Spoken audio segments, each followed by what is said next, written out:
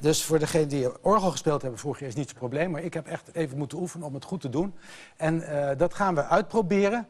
Want Mike heeft namelijk op de melodie van Bye Bye Blackbird. een ode geschreven aan het Pianola Museum. Daar Mike Paul en de pianola.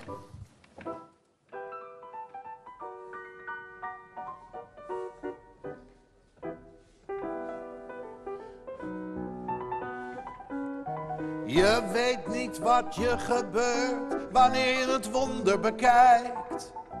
Je gelooft je ogen haast niet. Toetsen springen op en neer, zodat het heel eventjes lijkt dat je de pianist ziet. Ter plekke wordt een stuk opnieuw gepaard. Ik heb er urenlang intens naar gestaard.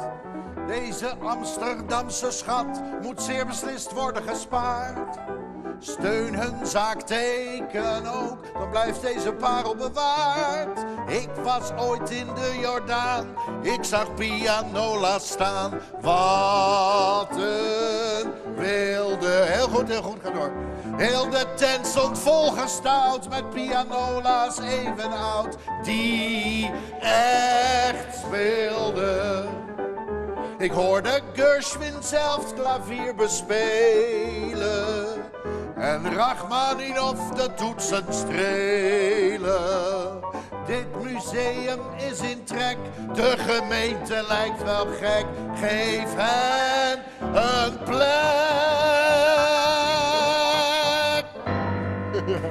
Thank you.